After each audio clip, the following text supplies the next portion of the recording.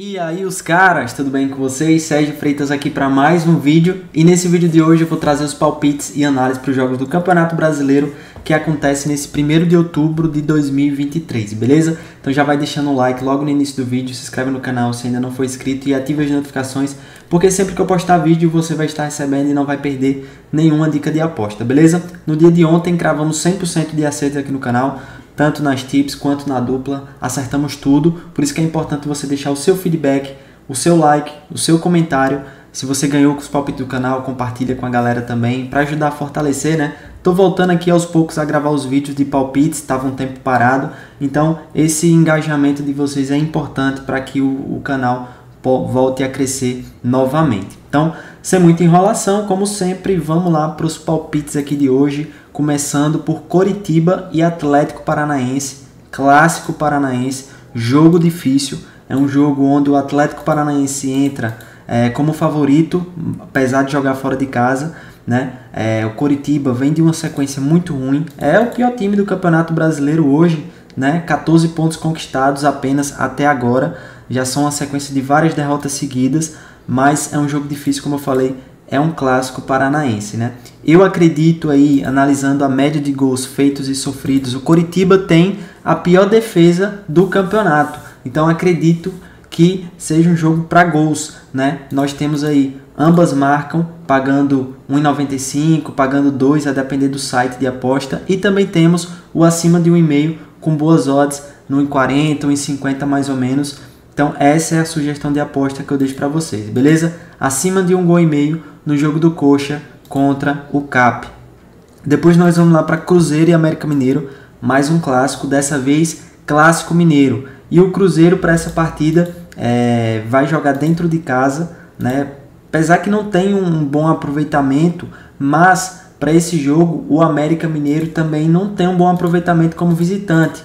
É o pior visitante do Campeonato Brasileiro é o Coelho. Nenhuma vitória até então, em 11 jogos, conseguiu um máximo de apenas 4 empates. Já o Cruzeiro, dentro de sua casa, ele jogou ali 12 vezes, empatou 3, ou empatou 4 e venceu 3, né? tem ali 13 pontos conquistados. Para esse jogo, o América Mineiro tem vários desfalques, né? vários jogadores suspensos. Então eu acredito que o Cruzeiro, com mando de campo, possa levar melhor e possa vencer essa partida. Minha sugestão de aposta é vitória do Cruzeiro, beleza? Depois nós teremos aqui Santos contra Vasco. Eu acho que é o jogo mais importante desse domingo, visto que as duas equipes estão muito próximas na tabela de classificação e esse jogo é decisivo, né? Para eles conseguirem escapar do rebaixamento. É uma briga direta aqui. O Vasco engatou uma sequência de três vitórias seguidas conseguiu sair da zona, mas o Santos ainda está numa situação complicada, com 24 pontos, são dois pontos de diferença em relação ao Santos. O, o, o, o Santos com 24 o Vasco com 26, né? Dois pontos em relação ao Vasco.